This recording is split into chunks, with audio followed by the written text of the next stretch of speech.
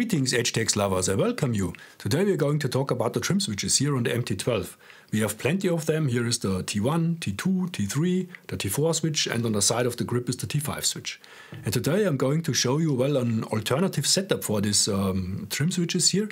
And this setup, this configuration is inspired by a YouTube viewer who has asked me how he can set up certain functions with these uh, trim switches here. When we finished with this video today, with the setup, we will have the following configuration. Please let me take a brief look here at my magic list. T1 will be, the, will be the control of the max deflection only for the brake side. T2 will be the steering trim. T3 will be the control of the steering dual rate. T4 will be the will be the setting of the throttle curve, which means the expo only for the throttle side. This is not that easy to do, but we will get to that when we get to the T4 switch and T5 will be the throttle trim. And by the way, if you do such uh, YouTube videos, always have your magic list with you. And by the way, magic, I think MT12 stands for Magic Transmitter 12. This is cool. No? So, now that you know what's ahead of us, as usual, the reminder please, if you like this content, if you find it helpful, hit the like and the subscribe buttons and support the channel. This will be would be really cool. And now, without further ado, let's go right into the configuration. Okay, let's get this setup done. Go to the model menu, here to the setup, and here change show trims from no to yes. What this does it is, is that it shows us the actual trim value here as a numeric value in this or on this trim line here. And I think that is that is very helpful, eh, at least for this example here, for this setup. So now back to the inputs. We need a lot of inputs here. And our first configuration will be T1 to control the max deflection only for the brake side. And for this, take the throttle input and edit it and set the side to X greater zero. Then we need another input and I will call this input BRK for brake. This will be the brake side of the throttle channel. BRK, well, BRK. And the source for this is TH, throttle. And we have to set the side to x less than 0. So now we have separated the throttle and the brake part. And now if we check what we have on the monitor, if I pull the trigger, the throttle trigger, then I have full throttle. But if I push the throttle trigger, we have no brake here because we have not used yet this, uh, this second throttle input, if you will, here in the mixer setup. Back in inputs, another input, I will call this BDR for brake dual rate.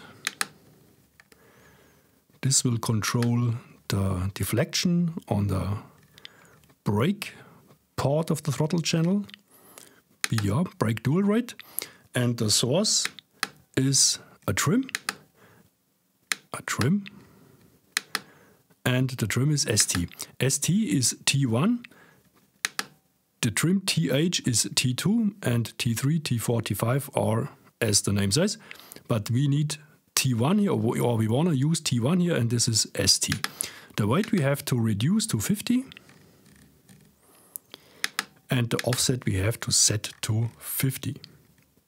And this allows us to use the full positive range here of the trim to, well, to control the deflection of the brake. And now we have set every input we need. Now let's go to the mixes and use these inputs. Here go to the channel 2, then short press one down, then one up, up again and edit the first line and set, set the source to BRK, this is our brake, and exit this. Again short press one down and edit now the second line and set the source to BDR. And here we have to change the multiplex mode from add to multiply.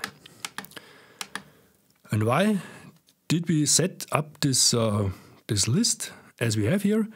Because with this multiplied, it, that means that everything above it will be multiplied.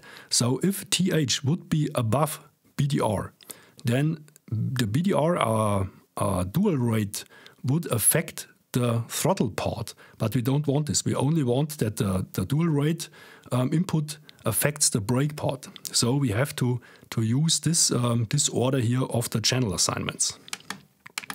Now let's go back to the monitor and check what we have. Now I pull the trigger, everything normal here. If I push the trigger, I have only 50% deflection. This is because T1 is right in the middle here. If I use T1 and bring it in this direction, then you see the, the deflection on the brake part is reduced. And if, if I bring the trim in the other direction, then the deflection is increased. Very well, but as you can see, we also change or set the trim for the steering channel with T1. And this is what we're going to change right now. Go to the inputs and here to the steering. And we want to use T2 as the, the trim for the steering. Go to trim and set it to TH. TH again is T2. And for the throttle trim, we want to use T5. So go to we have to change both the both the inputs that use the the throttle stick, if you will. Go to edit and set the trim to T5. And the same for the brake input, T5. now let's see on the monitor what we have. Again, I push, I pull the trigger, I pull the throttle trigger, max deflection here on the throttle. I push it 50%. I use T1 to control the deflection, only on the brake side of the throttle channel. And we don't set the trim anymore for the steering channel. This is cool. Now let's use T2 to control the trim on the steering channel. Very well. And now I'll use T5. T5 is this trim switch here on the side of the grip. Use T5 to control the trim on the, on the throttle channel. And this works, of course, in both directions. Very well. Now let's go back to the model menu and back to the inputs. We need another input. And now we want to set T3 to control the steering dual rate. So another input, and I will call this input SDR for steering dual rate.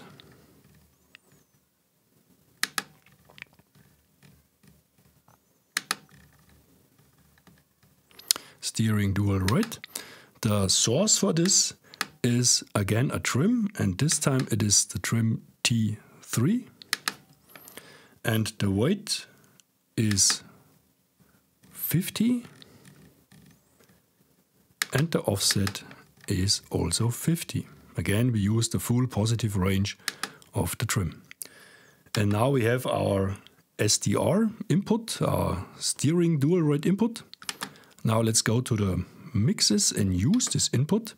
On the first line on a steering channel 1 assignment, short press 1 down and long press and edit and set the source to SDR, our steering dual rate, and change the multiplex mode from add to multiply. Now let's see what we have. If I do the steering full to the right, full to the left, then you see we have only 50% of deflection. But if I hold the steering wheel full to the right and use T5, oops, sorry, T5 is the wrong, T3 is the right one, T3, then I can modify the deflection of the steering. And this is valid, of course, for both sides, the positive side, or the right side and the left side. Okay, very well. Now let's bring it up to 100%. Now we have the control over the deflection or over the dual rate for the steering. And now the last part, configure T4 to control the throttle curve, the expo only for the throttle, the expo value only for the throttle side. And this is not that easy because we can't set this directly. I'll show you what I mean in a minute. Now we need another input, our last input for today. I will call this TDR for throttle dual rate. throttle dual rate. And the source is the input, uh, the trim, not the input, the trim T4. Very cool. And that's it here for the input. Now let's go to the input, uh, to, the mixes, and we want to modify or affect the throttle part, only the throttle part here. So edit this line. And what we can set is we, we can set the curve to expo. This is what we need. But now what we, well, we now need to modify this value here, but we can't do this directly. We can only set uh, a constant value here, or we can use G1 or global variables from the driving modes. So G1, well, how do we modify G1? Let's go to the special functions here. And say we want to use a new special function. And for this to work, I'm going to use SC, this simple push button here on the side of the grip. And what I want to do, if every time I hit the SC button, I want to adjust the global variable G1 and set it to the current mixer source value of our TDR, our throttle dual rate. And don't forget to activate this line, otherwise it won't do anything. And now let's see what we have. So what this does is, with the trim switch T4, with this one here, you can set a specific value. As you can see here, you can use, set some value. But this does, does not directly put this value or push, push this value to the, well, to the expo value of the throttle curve. So, but now, now if I push, if I pull the trigger, if I pull the uh, throttle trigger, then the response is linear. There is no expo response here whatsoever. But now, if I push SC, now the response is not linear anymore.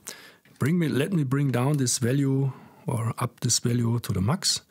And now if I pull the trigger here at the neutral and hit the SC button, here in the, at the neutral range, there is almost no change if I pull the trigger and to the end the changes get bigger and bigger. And if I bring this T4 trim into the opposite direction and hit SC, now if I pull the trigger, uh, this, is, this is very sensitive here in the neutral range, uh, very small changes on the on the throttle trigger um, leads to big changes here in the channel output, and to the end the changes get smaller and smaller. So now we can control, indirectly control, the expo curve of the throttle part. Again, I hit SC to write this value into the global variable G1 and the global variable, variable G1 is used to control the expo curve. Now, if I pull the trigger here, then there is very little changes around this uh, neutral range here and neutral, neutral position. and the further I go to the to the max, the further or the bigger the changes are. And that's it. Now we have configured T1 to control the max deflection only for the brake side. We have configured T2 for the steering trim, T3 to control the steering dual rate, T4 to set the throttle curve or the expo only for the throttle side, but we do this indirectly. And we have configured T5 to be the throttle trim. That's it. This is the alternative trim switch configuration. Thanks for watching. Thanks for staying with me until the end here. If you find this video helpful, please hit the like and subscribe buttons. This would be a great support for the channel. And then we will meet here very soon again on this channel. Until then, may the logic be with you.